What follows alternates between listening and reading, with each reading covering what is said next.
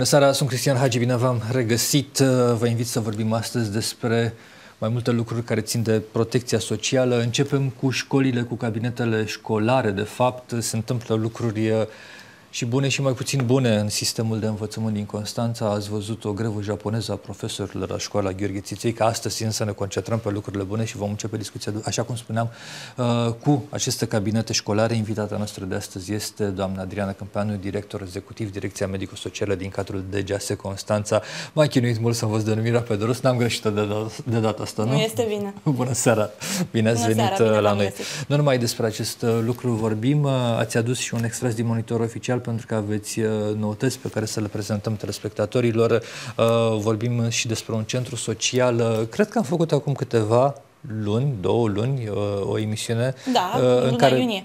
în luna iunie, în care punctam câteva dintre proiectele pe care vreți să le puneți în aplicare. Atunci, uh, cred că trecuse două săptămâni de când ați fost Da, numită, da. uh, fusese numită în această funcție. Bun, a venit momentul unui uh, scurt uh, update. Haideți să începem discuția cu cabinetele școlare. A început școala de ieri, uh, așa cum spuneam, cu bune și cu rele. Uh, În ce stadiu se află această structură? A Lucrurile cabinetelor bune școlare? sunt că în sfârșit există un ordin comun, un ordin de ministru care reglementează foarte bine activitatea din cabinetele școlare. Este un ordin al Ministerului Educației și al Ministerului Sănătății, în care toți actorii care joacă un rol important în asistența medicală școlară au rolurile foarte bine delimitate și se, se spune aici în acest ordin fiecare instituție ce are de făcut. Uh, Ce are de făcut unitatea școlară, ce are de făcut unitatea teritorial administrativă, adică instituția noastră, Direcția Generală de Asistență Socială, uh, ce are de făcut inspectoratul școlar, ce are de făcut Direcția de Sănătate Publică. Iată că sunt o serie de actori care toți sunt implicați în această activitate. De ce este mai important acum? Pentru că uh, cu toții ne dorim să avem un uh, an școlar uh, normal, normal însemnând uh, uh, fără condiții epidemiologice, uh, așa cum s-a întâmplat anul trecut. Uh, Dar, cu toate că cu toții ne dorim normalitate, există probabilitatea și posibilitatea uh, ca acest val 4 să revină. Și atunci, cabinetele școlare devin importante odată pentru triajul epidemiologic, pentru depistarea precoce a oricărei, fe- oricărui fel de patologii uh, și, în ultimul rând, uh, se preconizează ca aceste cabinete să devină centre de vaccinare, fie permanente, fie tranzitorii, Uh, Din cauza aceasta, începând de ieri, deja a început catagrafia elevilor care doresc să se vaccineze, uh, iar în cabinete ne străduim să existe toate, uh, toate cele necesare ca acest lucru să se poată întâmpla. Există în fiecare școală în- sau cum sunt Există amplasate cabinete aceste școlare cabinete? în fiecare unitate. Uh, Nu am ajuns încă la performanța să avem uh, cadre, dar în grădinițe și în, în uh, grădinițele cu orar normal și prelungit avem câte un cadru mediu sanitar.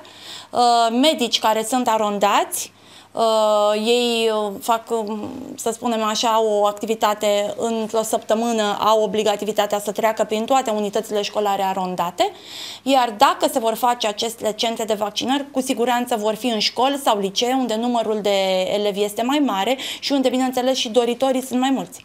Cum se ia decizia înființării acestor centre? Trebuie să fie De un o- anumit număr de solicitanți? Nu, sau deocamdată cine ia decizia? lucrul acesta se poate întâmpla și cu uh, echipele care mobile din cadrul Centrului Mare de Vaccinare, care funcționează, însă reglementările privind uh, realizarea unor centre de vaccinare fixă nu sunt încă venite. Așteptăm un ordin de ministru care probabil ne va explica exact cum se vor desfășura aceste lucruri.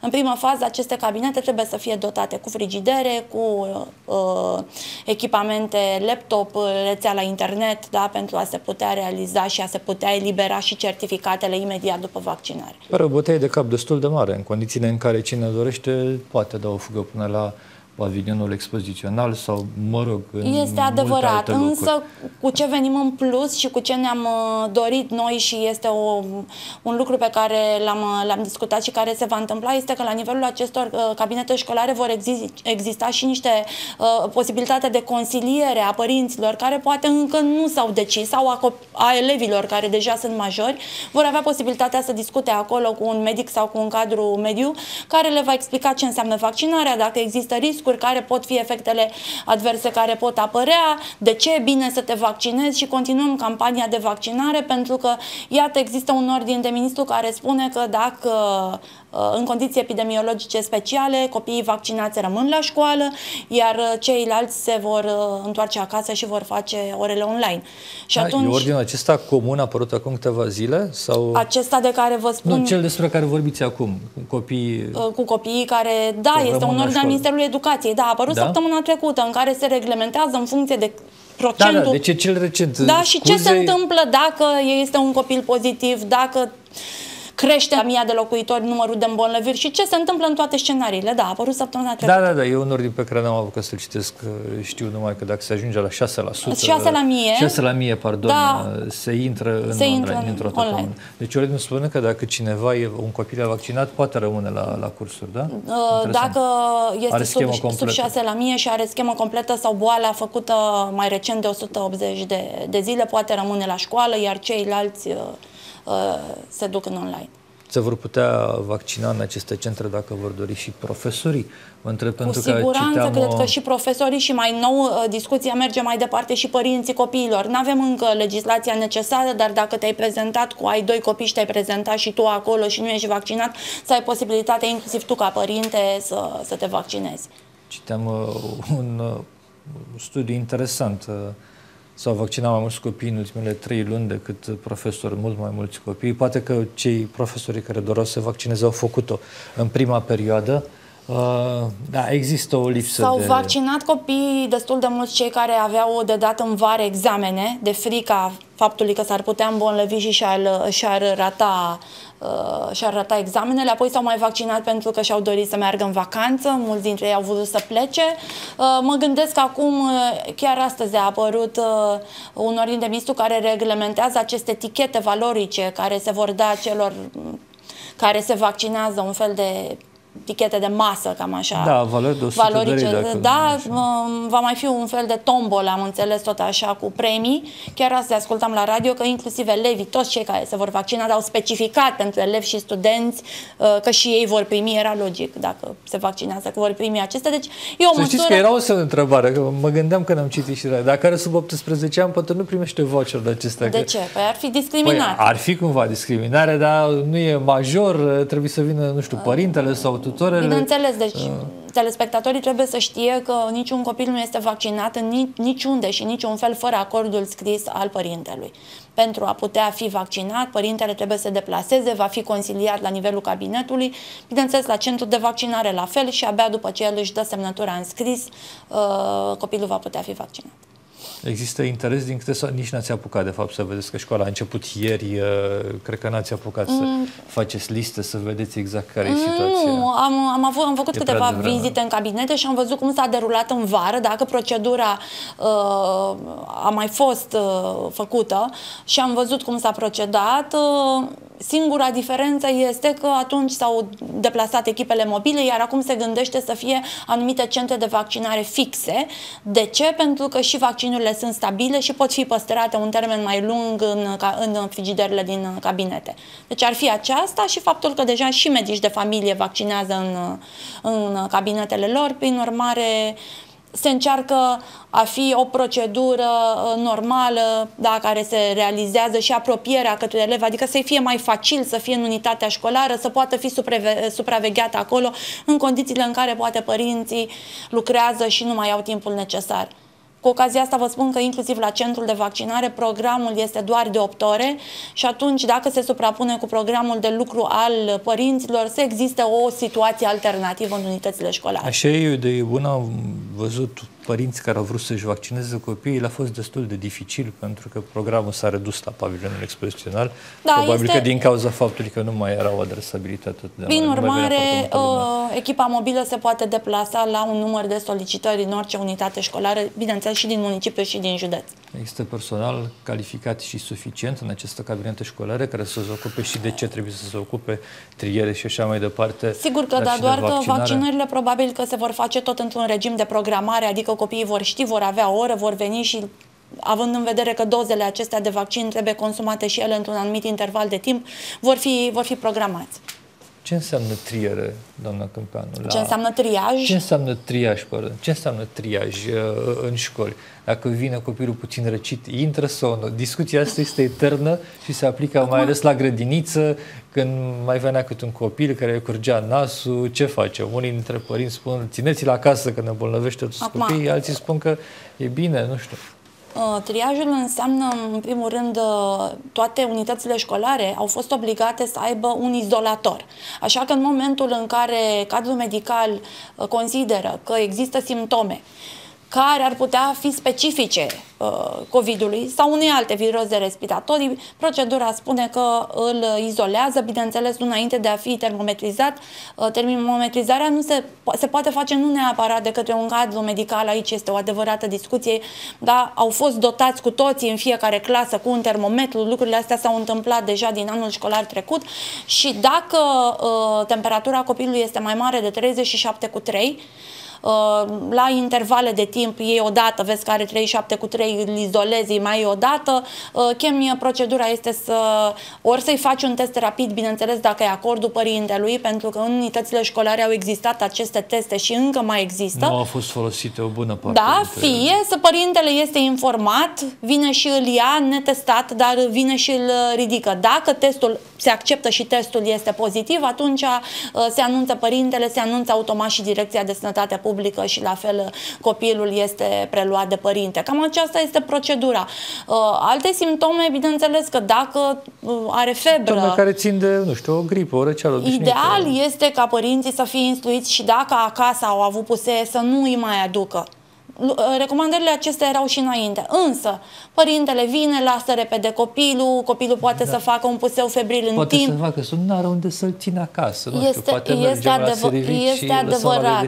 Și lucrul acesta, de multe ori uh, poți face un compromis o oră, două, dar când te gândești că există posibilitatea să îmbolnăvească și alți copii și atunci vă dați seama că fiecare părinte gândește, ok, uh, de ce sunt eu de vină? Adică eu stau acasă, eu am gândit, eu mi-am ținut copilul acasă, mi-am luat eu concediu sau uh, poți să ții un concediu medical și celălalt nu poate să facă și el același lucru.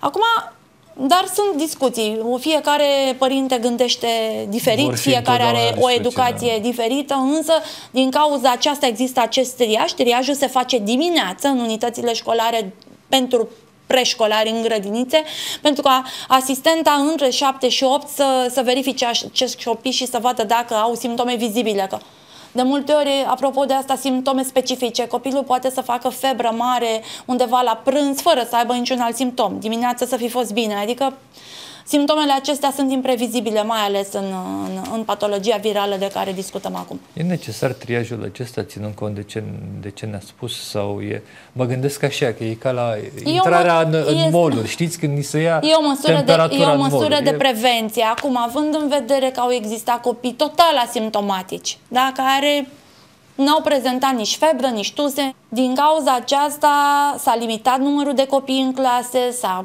creat această, această distanțare într-un fel sau altul. Au apărut ordinele acestea în care în clasele mici nu mai sunt 30 de copii, sunt doar 22, maxim 25, tocmai ca măsură de prevenire a răspândirii acestor boli. Pe hârtie, doamna Nu pe hârtie, pe hârtie sunt 20, 25, în realitate sunt 30 sau peste 30. La clasele mari așa este, și la clasele mici da, mă rog, asta nu este chestiunea Dar de care se ocupă pentru de copii de 12 ani care, într-adevăr, sunt mulți, în clasa fetiței mele, într-adevăr, sunt peste 30 de copii, există această posibilitate de vaccinare și singura metodă de eliminare a răspândirii pentru adulți și copii este vaccinarea. Aba, trebuie să fim cinstiți, nicio autoritate locală nu poate construi peste o noapte școli astfel încât, nu știu, să păstreze distanța de 1 metru și jumătate în clasă. Trebuie să faci clasă mai mare, asta e drept. Și poate că singura variantă e cea pe care o spuneați dumneavoastră, dar mă rog, cum spuneți că se cheamă camerele acelea izolatoare? Da. Și dacă nu le au școlile, ce sunt? Au fost obligate să le aibă, au fost controle ale Direcției de Sănătate Publică, unde am fost și noi, școala a trebuit să găsească un alt spațiu decât cabinetul și să improvizeze în așa fel încât acolo să existe o canapea, să existe uh, un spațiu în care personalul medical să aibă dezinfectant, să aibă termometru, să aibă mănuși în cele mai multe școli există, sau cel puțin acolo unde au fost eu, așa cum au reușit, că au fost mai mici, că au fost mai mari, că sala de lectură, că nu știu, că un laborator sau altceva, uh, au fost uh, realizate aceste izolatoare. DSP verifică acest lucru Da. și DSP poate aplica probabil, nu știu, sancțiuni dacă nu sunt îndeplinite? Da. O să vorbim la DSP că sunt curios. Eu nu cred că există în, fie, în toate școlile din municipiu sau din județ. Dar sunt eu puțin mai uh, pesimist din punctul acesta de Eu unde vedere. m-am dus uh, peste tot acum de când am preluat, mi-au arătat cabinetul uh, și izolatorul. Conform normelor, cabinetele acestea școlare ar trebui să aibă ca și cabinetele private, pentru că nu există o delimitare li- legislativă, un cabinet de consultații și o sală de tratamente. Sunt puține unități Cum? școlare. Cum? Stați un pic, ar trebui ca aceste cabinete să aibă două, Două încăperi. spații, da? da. da? Uh, însă cele mai multe unități școlare nu au reușit să dea două spații, dar dacă nu au reușit cu aceste spații, care bineînțeles ele trebuie să corespundă normativului uh, legislativ ca dimensiuni, ca dotări, acest izolator l-au improvizat așa cum au, uh, cum au reușit fiecare și cel puțin la școlile și grădințele unde au fost există. Cum le-ați ales? Sunt curios școlile la care ați fost. Acolo unde Aleatorii sau aveam, cum? nu, acolo unde aveam lucruri de rezolvat, adică acolo unde m, A, am trebuia înțeles. făcut ceva, spre exemplu, o grădință care s-a înființat. M-am dus înainte de a, aș putea lua autorizația de funcționare, DSP-ul care le dă, le-a impus să aibă un spațiu pe care să îl aibă cu destinația de cabinet și un alt spațiu cu destinația de izolator. Da, deci- Altfel ar funcționa fără autorizație de funcționare de la DSP, ceea ce, Ceea nu ce- prea cred că se întâmplă. Da, am văzut școli care funcționează fără autorizație, ce de, mă- la ISU, de la... Uh, am crezut că v-au chemat uh, directorii și v-au spus, haideți să vedeți... Directorii cum mi-au ne făcut pregătiți." solicitări că au nevoie de cadre medicale, da, pe care le uh, asigurăm noi ca instituție. Uh, eu, principiul a fost înainte de a avea cadre, chiar, spre exemplu, și doar pentru triaj, adică un cadru medical îl împarți între două unități. Pentru aceasta, dumneavoastră trebuie să aveți un spațiu amenajat în care să se realizeze acest triaj cât mai aproape de ușa de intrare, ca să fie aproape, uh, și respectiva grădiniță, da, și-a îndeplinit uh, respectivul uh, obiectiv, adică are cabinetul, are izolatorul și atunci am realizat, am reușit un cadru uh, să vină dimineața și să realizeze triajul. Ați găsit, uh, v-am întrebat și mai devreme, uh, cadrele medicale pentru toate cabinetele? L-ați găsit ușor? Că din câte mi-aduc aminte, era o chestiune aceasta nu la, le-am la găsit discuția. ușor și încă mai este nevoie. Este nevoie, nu? La discuția Uh, precedentă așa îmi spuneați. Da, uh, toată perioada aceasta de vacanță m-am străduit să găsesc modalități mai bune sau mai rele. Se pare că singura modalitate pe care o avem legislativă acum ne va permite tot angajarea fără concurs pe stare de alertă și tot ce avem vacant acum uh, până la mijlocul lunii octombrie le vom scoate așa pe stare de alertă. Pentru că starea aceasta de alertă văd că tot se continuă și atunci dăm posibilitatea să, să se ocupe aceste posturi, bineînțeles temporar, dar pentru acest triaj uh, este necesar. Și atunci o să scoatem și asistente și medici. Asta e partea cea mai ușoară, doamna director, să scoateți la concurs posturile. Evident, facilitatea de stare de alertă. Partea cea mai grea, care nu ține de dumneavoastră, este să vină cadrele medicale, să vină medicii. Uh, Mm. Acum, Probabil pe, sta- că nu pe se stare de înghesuie. alertă vor veni sau nu vor veni, dar când am scos posturile la concurs, nu știu, cred că am apucat, nu știu dacă am apucat, în, am spus într-o emisiune, uh, pe un singur post de asistentă au fost 8 candidați, deci 8 pe 1? da, da. Am înțeles, da. Înseamnă că este cerere și am eu o percepție deformată că nu există cadre medicale în România, că mulți preferă să Acum, plece există cadre medicale, bineînțeles că din 8, să spunem cam jumătate erau de notă de trecere. Acum, sunt și eu puțin. În... Mă rog, dar găseați. Dacă Da. patru sunt în notă Da, de trecere, da, înseamnă da. că găsești cel Da. puțin unul, doi. Cum sunt salariile sau veniturile în uh, acest Uh, domeniu? Că, Sunt veniturile de pe grila de salarizare din instituțiile care nu sunt uh, clinice. Da, instituțiile medicale care nu sunt clinice sunt mai mici decât un, un spital, dar uh, mai mari decât la privat. Da? Da. Da. Poate că așa se explică faptul că vin oameni. Da. Mă rog, Da. când ar trebui să fie, nu știu, un scenariu optimist, ocupate toate posturile acestea? Aveți concurs, vine lumea, Uh, E greu de spus când vor fi toate ocupate, pentru că nu depinde de, Majoritatea. depinde de noi. Însă, spus asta, da. uh, să spunem că suntem un grad de ocupare în jur de 80%, adică nu sunt chiar atât de multe neocupate. Uh, Ideea este că există unități școlare mai aglomerate, da, unde volumul de muncă este mai mare. Aceste unități sunt cele din centru, în general. Toată lumea își dorește să vină aici, și aduc copiii la unitățile, să spunem, mai de prestigiu. spre deosebire de unitățile școlare care sunt mai la periferie sau în cartiere, ca să le numim așa, unde există discordanța numărului de elevi, dar în același timp există necesitatea. De ce? Pentru că aici sunt uh, comunități minoritare, sunt copii cu probleme, unde uh, mulți dintre ei poate nu sunt arondați la un medic de familie și atunci concentrarea uh, se, medicilor și asistentelor este mai, uh, într-adevăr, mai, uh, mai mică, dar necesară. Și atunci este o discrepanță, să spunem, între volum și necesitate. Cei de aici din școlile bune din centru, sunt copii care au și posibilități financiare mai bune, uh, care, pentru care părinții se și uh, îngrijesc mai mult.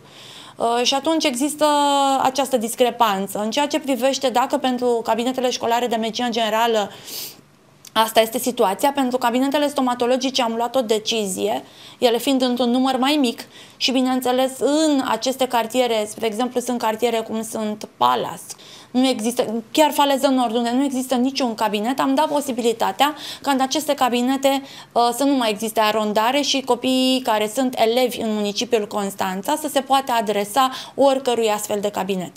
Interesant. Da. Cum trebuie să procedeze un elev care vrea să se Pe... ducă? Dați-ne niște detalii. Să se ducă cu părintele, trebuie să semneze ceva declarații. Sigur. În primul rând, ca să-ți alegi un astfel de cabinet, dacă nu ai în școala unde înveți, cum sunt cei mai mulți dintre elevii constanțeni, pe site-ul instituției noastre, uh, la rubrica medicină școlară, există cabinete stomatologice, există lista acestora, unitățile unde se află, adresa unității, programul de lucru al medicilor, numele medicului și al asistentei.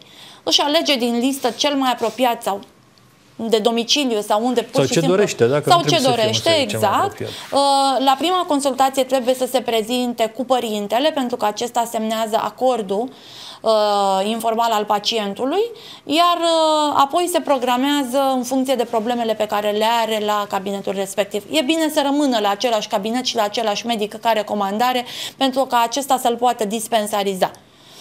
Uh, prin urmare, pe lângă acest aspect, medicii din cabinetele școlare vor merge pe cât posibil în afară de consultații și în celelalte unități pentru a realiza uh, bilanțul uh, copiilor, um, un fel de consultație mai superficială, spună, pentru că se desfășoară la, în clasă, dar măcar cât de cât să atragă atenția asupra problemelor. Tu ai probleme, vină cu părintele la cabinetul acesta sau la altul. Măcar cât de cât uh, copiii și părinții acestora să știe că copilul ar trebui să se prezinte la, la stomatolog. Asta este ca element de noutate. De câte ori pe an ar trebui să trimitem copilul măcar o dată la șase luni, o, o consultație profilactică se numește ea, adică o consultație în care... Să se uite puțin așa. Da, de, și să-ți spună ce ar trebui să mănânci, ce ar trebui să nu mănânci, ce ar trebui să faci, de câte ori să te speli pe dinți, dacă nu știi, să-ți explice metoda corectă a periajului și lucruri de genul acesta. Eu cred că aici aveți mari probleme de a găsi personal, pentru că, nu știu, la asistente, la da, medicii stomatologi, câștigă în general bine în cabinetele private și uh, nu-i văd uh, îmbulzindu-se aici în cabinetele Să școlare. știți că o să fiți uimit. Dorința ar fi, nu avem atât de multe posturi. De ce? Uh, pentru că dotarea acestui cabinet vine în grija autorității locale, conform și acestui nou ordin de care vă povesteam, însă înființarea lui se face la uh, solicitarea unității de învățământ.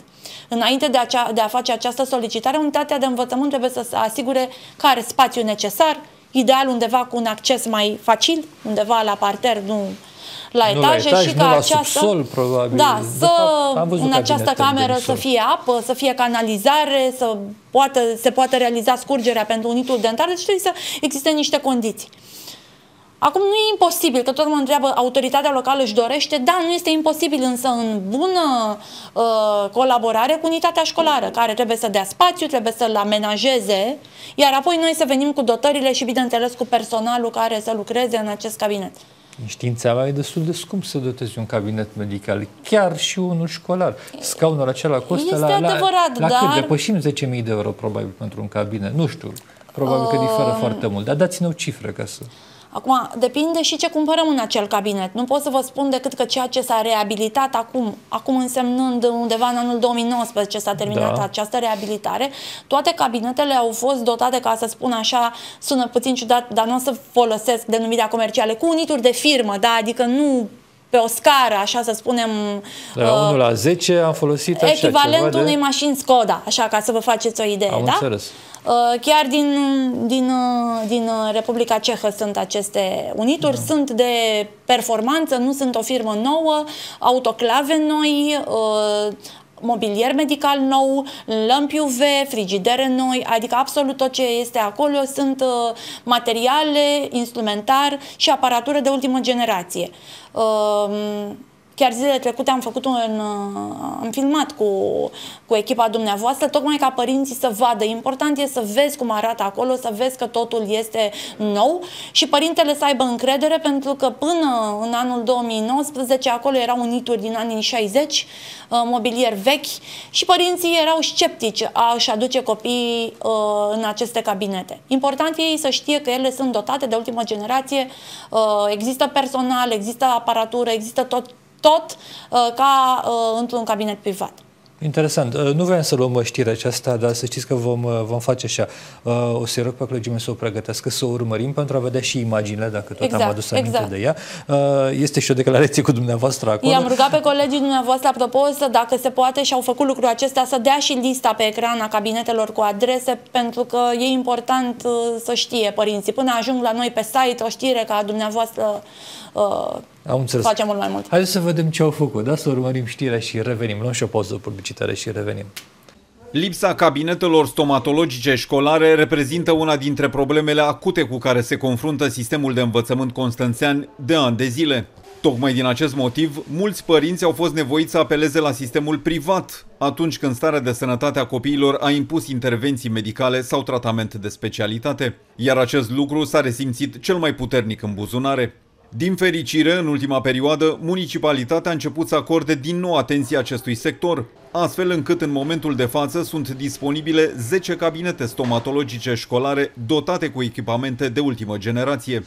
Acestea își vor relua activitatea la capacitate maximă odată cu începerea noului an școlar. Cabinetele medicale sunt în momentul acesta toate dotate uh, cu personal medical care așteaptă copiii, bineînțeles uh, mai rar, doar în condiții în care chiar este nevoie, dar personalul este acolo. Aceste cabinete sunt dotate uh, cu materiale și cu dezinfectanți, așa cum prevede legislația. Părinții trebuie să știe că tratamentele și consultațiile sunt gratuite. O să fac o remarcă, mai puțin aparatele ortodontice, care sunt apanajele specialiștilor ortodonți, deci aceste servicii nu se realizează în cadrul cabinetelor școlare, iar copiii, pe lângă cei care sunt în unitățile respective, adică școlarii sau elevii din liceul sau școala generală în care se află cabinetul, pot beneficia de servicii și ceilalți copii care fie sunt locuiesc geografic în imediată apropiere a unităților școlare, fie unde consideră ei că le este mai, mai bine. Tocmai pentru a veni în sprijinul tuturor părinților, cele 10 cabinete medicale deservesc atât elevilor cât și studenților care studiază la o instituție de stat din Constanța. Programul acestora, dar și localizarea lor, pot fi aflate accesând pagina de internet a Direcției Generale de Asistență Socială din cadrul primăriei municipiului Constanța. În aceste cabinete stomatologice școlare, copiii pot beneficia de tratamente precum sigilări, detartraje, tratamente carii, extracții dentare, în toate situațiile, acestea fiind gratuite. Ne-am întors în platoul Dobrogea TV, am vorbit despre cabinetele școlare, așadar, concluzia e că sunt bine dotate, că există medici și cadre asistente și vor exista în continuare pentru că faceți angajări și, foarte important, elevii se pot duce la orice cabinet stomatologic pentru intervenții. Uh, nu toate intervențiile de pe lume, dar... Nu toate. Consultații, consultații profilactice, profilaxie și tratamente. Nu aparate ortodontice. De ce părinții să nu fie cumva uh, induși în eroare? Aparatele ortodontice sunt deja apanajul unui medic specialist ortodont, deci fără aparate ortodontice. Am înțeles. Și ele trebuie dotate de către UAT-uri, spuneți, nu? Uh, dotarea se face de către UAT cu aparatură, Uh, și cu mobilier medical și tot ce ține de parte medicală. Unitatea școlară uh, amenajează spațiu în sensul în care ar trebui să zugrăvească, să pună termopane, să acolo unde nu s-a făcut lucrul acesta, în condițiile în care mai avem câteva cabinete de medicină generală care, uh, datorită situației pandemice, aceste lucruri s-au oprit, mai avem câteva. Să pună aer condiționat, spre exemplu, să cumpere birou, adică mobilierul care este nemedical. Asta este partea școlii. Personalul este plătit de la administrația locală prin transferuri de la Ministerul Sănătății. La fel și parte din materialele consumabile, care tot așa autoritatea locală primește banii de la Ministerul Sănătății. Bun, am ținut să precizăm aceste lucruri. Dacă ceva nu merge, să știe lumea spre cine să arate cu degetul. Ați uh, spus în emisiunea noastră precedentă și am văzut că ați făcut uh, ceva pași spre o strategie de sănătate. Înainte de asta, unde ați fost la deschiderea anului școlar? La, la Colegiul Național la Colegiul Constantin Național. Brătescu, da, da, pedagogic. Pedagogicul, așa cum știe lumea. Cum arată colegiul? E bine dotat? E bine dotat. Am ales uh, acest uh, colegiu tocmai pentru că uh, unitatea școlară a pus la dispoziție cele două spații de care vă menționam. Acolo există și cabinet de tratament, există și uh, sală de tratamente și cabinet, există și cabinet stomatologic și uh, accesul este facil acolo pentru că... E în centru, da, se ajunge ușor. Uh, da, a existat o televiziune concurentă care a filmat și a transmis niște live-uri de acolo, tocmai în contextul epidemiologic, cu centrele de vaccinări, că suntem dotați, că avem teste rapide, că ne străduim să uh, lucrurile acestea se întâmple și în școli și uh, ce să vă zic, au, au, iar acolo sunt și mulți copii. Da, sunt 1400 de copii de toate ciclurile, de la grădiniță la liceu și uh, aceștia chiar acolo au, au căi să se adreseze. Am înțeles. Haideți să vorbim despre strategia de sănătate, nu înainte de a spune că nu există o televiziune concurentă pentru Dobrogea TV. Da, Așa, exact. mai glumă, mai serios. O altă mai televiziune mai serios. atunci. Exact, o altă televiziune. Să nu se supere colegii mei, n-am vorbit niciodată și nu voi vorbi de rău, din potrivă, numai de bine despre toți colegii de presă. Uh, nu e o meserie ușoară și mă bucur că există oameni care o fac și o fac bine în Constanța. Strategie de sănătate. Ați uh, spus că veți face acest lucru și am văzut săptămânile trecute că a fost și o întâlnire în care o, o dezbatere pe aceste temă. Ce s-a întâmplat, doamna Exact. A fost etapa 2, după constituirea comisiei, care, datorită a două HCL-uri, uh, există.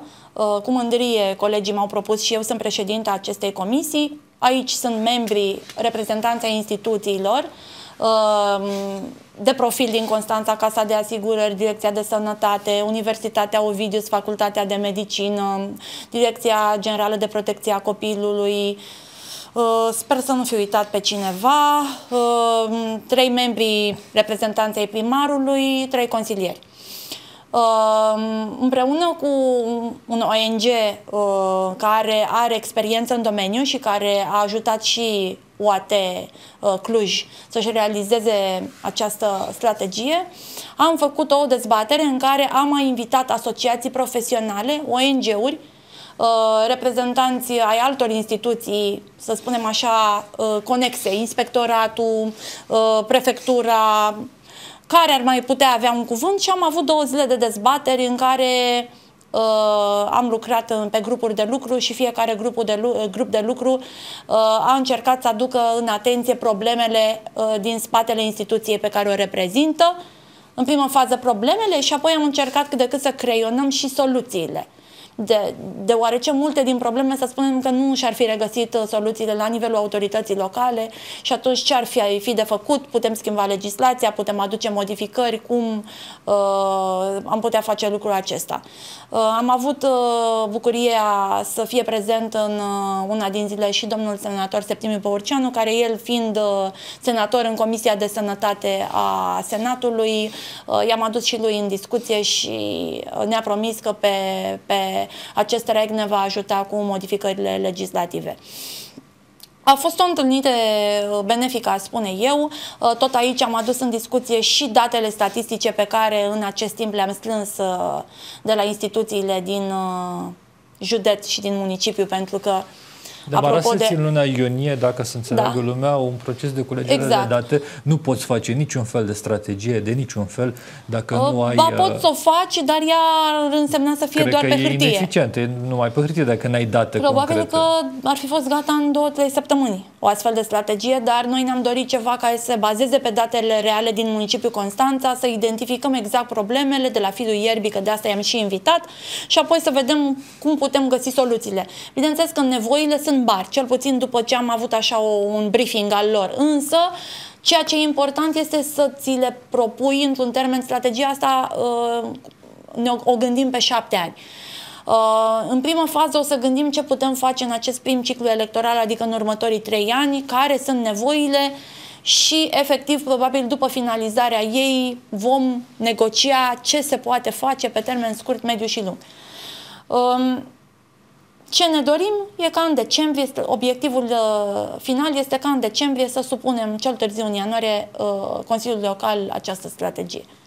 Va mai fi o rundă de întâlniri undeva în, uh, în luna octombrie, iar apoi în care să discutăm ceea ce colegii de la Romanian Angel Appeal se numește fundația, ceea ce ei au creonat, să mai discutăm încă o dată și să vedem dacă mai sunt lucruri care ar mai trebui, fi, ar mai trebui făcute și apoi să mergem în fața Consiliului Local. Deci este nevoie de o astfel de strategie? Se întreabă lumea, mai facem strategii, mai facem, nu știm care sunt problemele, uh, iar ne întâlnim, știm iar vorbim. care sunt însă problemele, toată lumea știe că este nevoie de încă un spital, două sau trei, dar acestea sunt niște uh, probleme uh, generale, însă uh, care sunt soluțiile, care sunt problemele, știm care sunt soluțiile. Această strategie ne ajută să identificăm care sunt sursele de finanțare uh, și dacă așteptăm fonduri de vreun fel, nu știu, norvegiene, structurale, europene sau de unde ori fi uh, și ce putem face cu bani de la autoritatea locală. Acum, dumneavoastră trebuie și sunteți conștient că ceea ce poți face mai repede uh, sunt lucrurile pe care le poți face în funcție de buzunarul tău. Cu cât așteptăm, sunt o serie de proiecte care, într-adevăr, uh, se vor face și se fac. Uh, nu știu dacă v-am spus data trecută, dar municipiul Cluj a propus un spital regional în anul 2005 și abia peste aproape 15 ani a reușit să, uh, să obțină finanțarea și să înceapă demersurile. La Cluj face spital regional cu bani guvernamentali, din câte știu eu, nu? E inclus Clujul da, în da, pachetul acela de trei spitale da, regionale. Da, dar nu guvernamental, sunt bani europeni uh. pe care au reușit să-i obțină direct să vină la autoritatea uh, județeană. Diferența este încă că suma previzionată la momentul acela acela de Guvernul României nu este îndeajuns să acopere cheltuiala. Și probabil că vor mai solicita bani, ani. vor mai solicita bani. Bine, nu, indicatorii tehnico-economici nu au fost făcut, nu au fost calculați acum 15 ani. Ei acum 15 ani au pus pe hârtie, A, dar au înțeles. gândit prima dată. Deci ideea s-a născut da, acum 15 da, da, ani. în anul 2005. Indicatorii tehnico-economici care sunt I-au recalculat, probabil că orice indicator se recalculează ca pe orice proiect cu fonduri dacă... europene se poate recalcula și la diferență de șase luni. Cu siguranță, da. Au Ideea este că îți propui, îți propui ce poți să faci pe termen scurt, mediu și lung sau îți propui, să spunem, în primă fază avem nevoie de, fiecare consideră că problema lui este cea mai importantă, da, și că nevoia este dacă întreb pe psihologi este la ei, dacă întreb pe medici dentiști la ei, dacă întreb pe medici de familie sau pe cei de la centru antidrog este la ei, da, pentru că sunt multe lucruri nefăcute în acest interval. Și lucrurile sunt nefăcute pentru că niciodată sănătatea nu a fost o prioritate. Și asta este adevărul. Nu a fost? Nu. Nu și... Trist.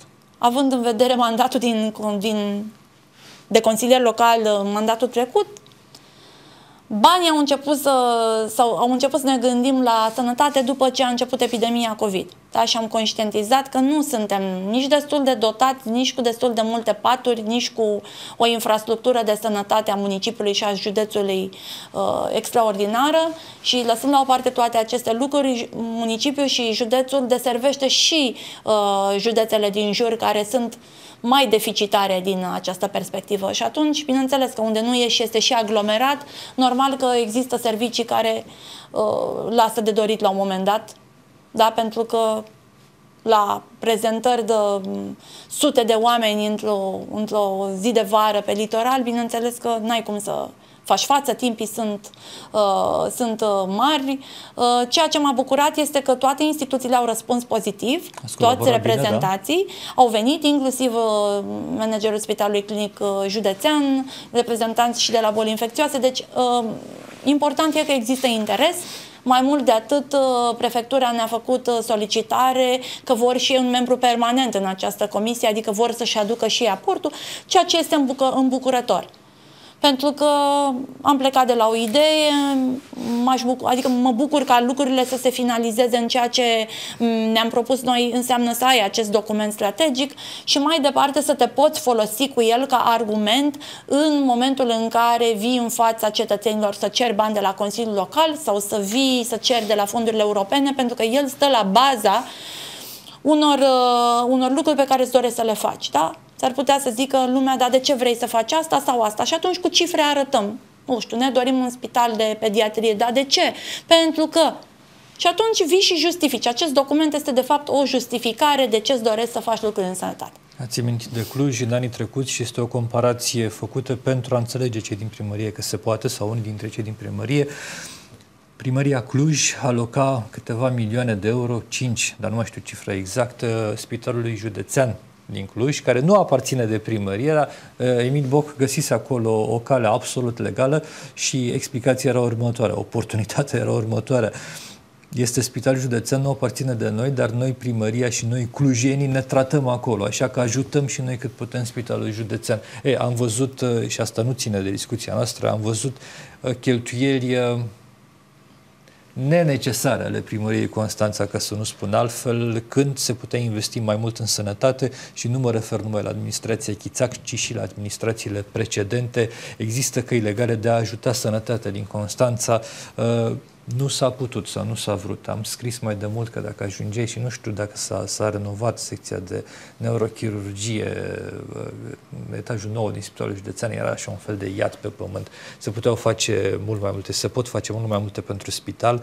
Uh, Constanța este un oraș sărac, un județ sărac, dar se pot găsi bani în funcție de priorități. Acum, ce să vă zic, deja cu și fără strategia aceasta de sănătate, autoritatea locală împreună cu Direcția de Sănătate Publică deja au identificat niște și au început niște demersuri uh, pentru Spitalul de Pediatrie, uh, pentru Spitalul Municipal, pentru acea, mm, cum să zic, ca să spun așa, spitalul acela modular uh, în contextul COVID de la boli infecțioase. Deci, deja demersurile și fără strategie au fost făcute pentru că uh, demersurile trebuiau făcute și cu cât începi mai repede să, să faci niște lucruri, cu atât probabilitatea să se termine mai repede e mai mare. Uh, prin urmare, lucrurile acestea sunt evidente, dar mai sunt și multe altele de făcut. Uh, Uh, plecând de la campanii, de la prevenție, da, lucruri care lipsesc cu desăvârșire sau sunt mult prea puține, pentru că ne spunea cineva că de ce vrem noi să facem treaba DSP-ului. Nu, din contră, noi nu vrem să facem treaba nimănui. Noi vrem să ajutăm da, la îndemersurile care deja sunt uh, existente, având în vedere colaborarea cu inspectoratul și inclusiv acest ordin care ne spune că trebuie să facem prevenție în unități. Noi, ca autoritate locală, trebuie să facem prevenție în zonele defavorizate, da? trebuie să mergem și să învățăm pe oamenii aceștia aceștia și să le dăm posibilitatea să știe de ce trebuie să, uh, să se adreseze medicului când sunt multe probleme și atunci lucrurile astea nu vin și nu, uh, nu fac decât să vină în ajutorul celorlalte instituții și să punem și noi umărul atât cât putem prin direcția medico-socială la toate aceste lucruri. E clar că există nevoie de, e nevoie de o strategie. Îmi spunea vicepreședintele Consiliului Județean, domnul Enciu, în emisiune că vor să se dorește construirea acelui spital de pediatrie, învățăm secțiile de pediatrie, nu știu, șapte etaje de șase și șapte sau, dacă nu mă șer, din spitalul județean acolo și când am întrebat, dar ce faceți cu, cu etajele acelea care se vor goli? Nu știm ce facem. Vede spitalul județean. E bine că facem un spital de pediatrie, dar trebuie să avem Vor un privire crește integrată. numărul de paturi pe secțiile deficitare. Acolo unde ai uh, puține paturi și prezentare mare, crește acolo. Dacă, dar bine, astea sunt niște lucruri uh, care nu se pot face nici pe mersuri. Adică ți se eliberează, trebuie să faci către minister niște solicitări, să spui că modifici structura.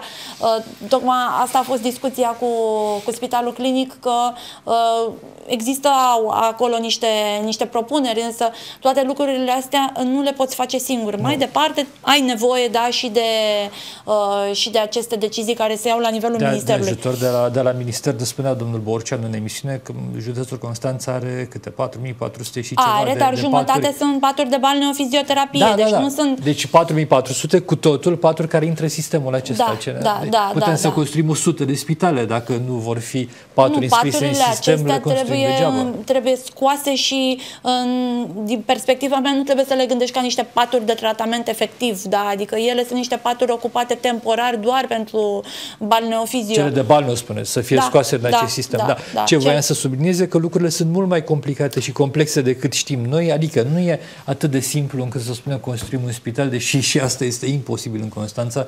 Nu știu de ce, nu știu de ce nu fac politicienii, nu știu, grevă, greva foamei. Este imposibil să faci în Acum Cluj, vă dați în seama Iași, că, în Craiova apropo apropo de asta, nu de medici, că ar trebui să facă medicii, dar medicii nu prea pot face grevă, nu, pentru nu că asta medicii, înseamnă să ieși din sistem Politicienii, și... pentru că e vina lor, să știți. De 30 de ani, Constanța a fost, iar deviez și fac o paranteză, a fost cumva uh, uitată de către cei de la București, indiferent dacă am avut PSD de la guvernare, PNL sau alte Revin. partide. Da, Strategia da, este un document cu care te duci în brațe cu el, oricine l-ar folosi și spui, uite, noi am studiat, am Astea sunt problemele, astea sunt soluțiile. Haide să vedem cine poate să ne ajute la soluțiile astea, că totul se rezumă la cine Așa de bani. Doamna da? Cameră, dar nu este cumva o, o, o inflație de strategii? Cred că și Consiliul Județean are nu știu, o asociație de dezvoltare durabilă care se ocupă de dezvoltarea ei județului. Nu fac și eu strategie au făcut, de sănătate? Au făcut și eu strategie, ce facem? sigur Avem că da. Strategii? Noi, nu. Ei au făcut o strategie din punct de vedere a județului, pe care am studiat-o și în care încercăm și noi să ne pliem, ca să spunem așa, pentru că documentul lor a fost emis înaintea documentului nostru, l-am văzut, însă ă, strategia lor este de dezvoltare, da, în general, în toate domeniile, deci nu e numai pe sănătate. Revenim acum, pe lângă uh, municipiul Constanța, în care sunt aglomerate marea majoritate a spitalelor, celelalte orașe, în care există spitale, este Hârșova, este Cerna, ar trebui Măgare, să aibă și ele niște mici poli de dezvoltare și să-și gândească și ei ce fac și ce le mai trebuie. Și mulți au și făcut lucrul ăsta. Poate cu strategie, fără strategie. Megidia, spre exemplu, are un ambulator nou-nouț. S-a investit acolo. Da? Cine? TICA, Agenția uh, Guvernamentală. Cu fonduri, uh, nu știu, din avut Turcia. din Turcia. Da, da, da, Agenția Guvernamentală de Deci de asta spun că fiecare da. și-a găsit o sursă Foarte de finanțare. Foarte bine arată de acolo, da, câteva milioane de euro investiți, am văzut. Județul ar trebui să gândească și să adune toate aceste lucruri, deci nu numai, jude, numai spitalul județean, spitalul regional. Ce se întâmplă la Hârșova, Uh, ce se întâmplă, spre exemplu, acum au, uh, gândesc să facă ceva cu acel uh, fost spital de la Băneasa. Da, adică gândesc ceva și acolo, spunea managerul de la... Adică sunt bolii ăștia care trebuie adunați cu, într-un fel sau altul în, într-o strategie. Acum, ce să vă zic, apropo de ce ziceau și consultanții noștri, nu sunt foarte multe strategii pe sănătate. Adică sunt vreo 3, 4, 5, dar peste tot, am văzut modelul peste tot în lume pe acest, îți planifici și după aceea realizezi, nu te crede nimeni da, dacă tu nu-ți argumentezi planificarea asta pe niște date reale, pe niște date statistice, exact ce se întâmplă și care e specificitatea patologiei din municipiul tău. Păi, bineînțeles că dacă eu am uh, consumator de droguri triplu față de Sibiu, normal că mă, mă centrez pe asta. Dacă am o mortalitate infantilă, normal că mă gândesc la o secție mai mare de neonatologie și ce pot să fac în, în condițiile astea. Dacă am, nu știu, boli cardiovasculare prin infart, Uh, mai mari, mă gândesc atunci ce fac? Fac o campanie de prevenție pentru că eu observ că vârsta este între 35 și 45 la bărbați și ăștia sunt obezi. Și atunci mă gândesc ce fac? Fac o campanie de promovare pe un stil de viață sănătos și pe prevenție la cardiolog uh, și gândesc mai departe să solicit către uh, guvern, să spunem, să facă o campanie de o consultație obligatorie. Ar fi la intervalul ăsta de vârstă de cardiologie. Adică trebuie să gândești, pleci de la mic, dar numai de la mic poți să că se întâmplă sau nu se întâmplă la nivel guvernamental, eu ce pot să fac? Pot să fac niște campanii locale. Niște evenimente, în așa fel încât să aduc în fața cetățenilor, bineînțeles, lucrurile astea și ei să le știe și cu puțin poate se face mult ceva e foarte de bine că se întâmplă așa. Cred că ceea ce lipsește România în general este profesionalismul aplicat, ca să spun așa. Adică orice proiect dezvoltat trebuie să aibă în spate să, niște date, exact, niște și trebuie cifre, să învățăm că prevenția este mai ieftin decât tratamentul. Și noi lucrurile astea nu le-am, le-am învățat. Adică toată lumea consumă bani în tratamente pe stadii finale ale bolii și investiția în prevenție este zero. Ne e frică de doctori, doamna Da, Căpa. este o chestiune care ține, se duce, este o chestiune glumă, care da. ține tot de educație. Dacă nu mă duc la doctor, poate și că atunci ne întoarcem în școală. De ce mergem în școală? Pentru că măcar să educăm copiii că doctorul de fapt nu este un balaur, un smeu sau ceva cu care desperiat și că el e prietenul tău, trebuie să te prezinți, cu cât te prezinți mai repede, cu atât există probabilitatea să, să scapi de boli. Să scapi. Dar noi avem o problemă ca nație. Știți cum se spunea copiilor? Dacă nu ești cu mine, te duc la doctor să-ți facă o injecție. Dar am încă pacienți care vin Așa și părintele spun? le spune că dacă nu ești cu mine, o să-ți facă injecție. Pe cuvânt? Da. Incredibil, da. Și încerc să le spui, nu-i faci decât rău și îmi faci rău și mie. Pentru că, eu că la un moment dat va face o injecție, că va fi nevoit. Va face o injecție, dar nu așa îl stimulezi. Da, da, da, da. nu dar, poți să sperii cu doctorul. Da, din păcate, aceste mentalități și lipsa educației pentru sănătate. Apropo de asta, una din idei era acest uh, obiect educație pentru sănătate, care la un moment dat exista în curiculă, să devină o, să devină o materie obligatorie pentru copii. Da? Am înțeles că nici măcar, uh, spuneau colegele, că nici măcar din, uh, din inspectorat și din... Am avut și câțiva directori de școală aici, am invitat, nici măcar opționale nu mai sunt. Da? Și atunci cum suplinim lipsa educației acestor ore, cum putem să o suplinim prin aceste campanii și prin aceste evenimente, da, da, da, în așa da. fel încât copilul să conștientizeze pericolele nu știu, alimentare. Doamne, cred că trebuie să învățați pe copii să se spele pe mâini corect. Corect, corect. corect. Probabil e că foarte multă lume nu știe să se spele corect pe mâini. Mai ales în acest context pandemic e important. Vedem clipuri la televizor, 30 de cine se spală 30 de secunde pe mâini sau cum. Probabil sau cine se spală două minute pe dinți. Da, da, aveți dreptate. Uh, ideea este că nu o să poți să rezolvi problemele acestea toate odată și toate definitoriu pentru societate și pentru uh, copii. Lucrurile astea făcute constant, permanent, da, și în timp se vor vedea ca rezultate. Dar de undeva, uh, ideea este următoare, de undeva trebuie să, să începem. de undeva, categoric, da, da, da. da, da. Unul dintre cele mai de succes seriale pentru copii din America a avut la bază niște studii psihologice aprofundate și care au durat foarte mult. Uh, se făceau niște episoade pilot și psihologii se uită să vadă cum reacționează, unde se uită la, uh, la ecran, în ce parte și așa mai departe.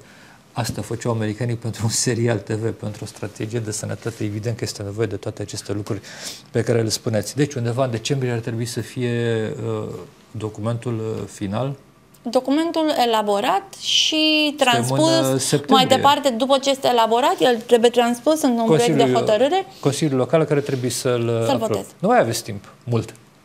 Septembrie, nu mai avem timp mult, dar am înțeles, ne mai vedem prin decembrie, așa sau prin ianuarie și vedem cum stau lucrurile. Al treilea subiect despre care voiam să discutăm astăzi este centrul uh, social despre care vorbeam uh, în vară, de care va fi probabil uh, mai multă nevoie în iarnă, mai avem două minute, în iarnă, mai ales că se anunță o iarnă grea. În ce stare suntem noi? Ca noutate, centrul acesta este un adăpost pentru oamenii străzi, centrul Filoftea, el era până acum câteva, a o lună de zile, să spunem, centru doar de noapte.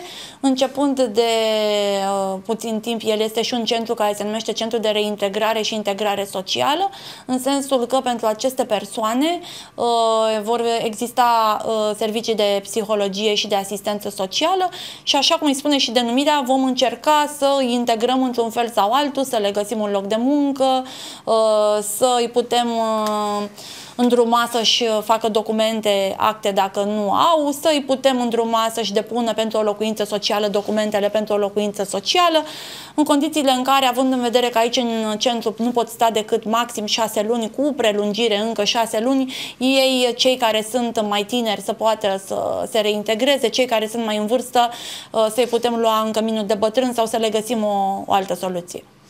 Am înțeles, o să vorbim și cu altă ocazie despre acest subiect, uh, repet, mai ales când vine iarna, să nu o iarnă grea, din păcate, uh, s-ar putea să fie nevoie de, mă rog, să aveți Cu siguranță cereri. suntem pregătiți să-i primim, așa că... Asta, din nou, este foarte bine. Mulțumesc mult pentru prezența în emisiune și dumneavoastră că v-ați uitat să aveți o seară excelentă în continuare.